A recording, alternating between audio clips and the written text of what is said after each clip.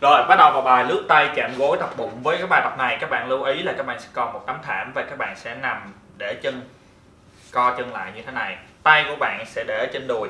Tay các bạn sẽ để lên đùi. Rồi, khi các bạn lướt lên, hãy cố gắng làm sao cho phần lòng bàn tay của các bạn chạm vào mặt đầu gối. Và khi lúc này các bạn thở ra, hãy lưu ý là cổ các bạn đừng bẻ cổ quá và mắt nhìn theo cái hướng đầu gối của các bạn để tránh bị mỏi cổ, đừng có nhìn lên trời nha. Khi co lên, các bạn sẽ gồng và siết phần cơ bụng của các bạn là một xíu. Nghĩa là bài tập này các bạn tập đúng khi các bạn tập, cảm thấy căng vào phần cơ bụng của các bạn và cảm thấy không bị mỏi cổ.